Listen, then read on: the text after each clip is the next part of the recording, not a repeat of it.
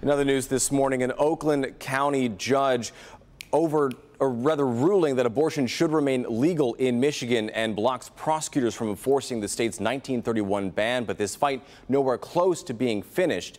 Judge Jacob Cunningham delivering his ruling after listening to two days of witness testimony. Now, it doesn't strike down the 1931 abortion ban, but it means it can't be enforced. That sets up a series of new fights over the issue of abortion.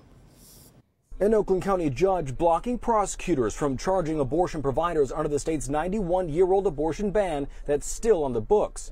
The judge essentially saying until a new legal action or a vote by the people, abortion should remain legal in Michigan. A person carrying a child has the right to bodily autonomy and integrity, as well as a safe doctor patient relationship free from government interference, as they have been able to do so for nearly 50 years. I'm relieved that everyone in the state knows that it doesn't matter what county you live in now. You are not, as a provider, going to be prosecuted, and you, as as a woman and and a, and girls, um, have a right at this moment because of this ruling. On the other side, the attorney for the defendants calling it an abuse of power by the governor. It's such an abuse of our legal system. If it's allowed to stand, it is going to be this is going to open the floodgates to all kinds of things. But the fight isn't over. An appeal is coming in the next few weeks. Those prosecutors looking to enforce the law have to file their appeal within 21 days. And then there's the sweeping ballot initiative, which has a challenge pending. The deadline for a decision set for August 31st. In his final statement, the judge urging those watching and those in court to register to vote. As a final note, the court reminds the public that the final day to register to vote